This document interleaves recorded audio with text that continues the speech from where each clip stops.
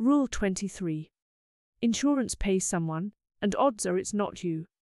Just think this one through with me. Insurance companies set their premiums so that on balance, if not on every contract, they'll make money. At whose expense?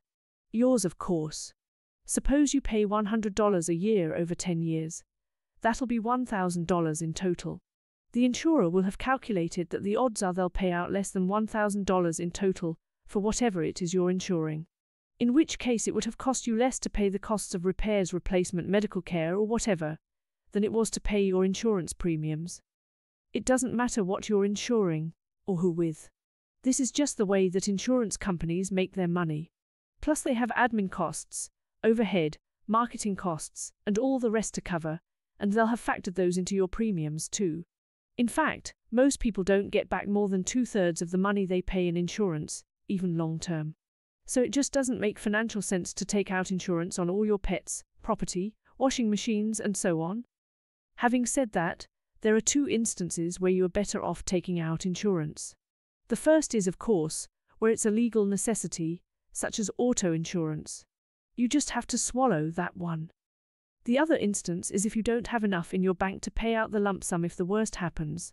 Say you don't insure your pet, and then they need an operation costing $1,000. Will you be able to find the money all at once? If not, what would you do? Maybe you'll feel you'd rather pay out more over the years in insurance for the peace of mind it gives you. Then, if Fido gets a fishbone stuck in his throat when you're having a particularly tight month financially, you can still afford the operation. 50. The rules of money. There are a few tricky ones, such as health insurance, but where you're insuring property, pets, or appliances, it's pretty straightforward. It doesn't matter what goes wrong with your washing machine, you know the most it can set you back is the cost of a new machine. Could you afford that? If so, you're wasting your money on insurance. Have you added up how much you're spending every month on insurance premiums? Well, why not? Go and do it now. Now think about what you could do with that money if you weren't paying for all that insurance. If you just put it in a savings account, it would at least earn interest. And that's something that the shrewdest wealth builders do. If they're worried about losing the cash flow safety net of insurance, they cancel their contracts and then sock that amount each month in a savings account.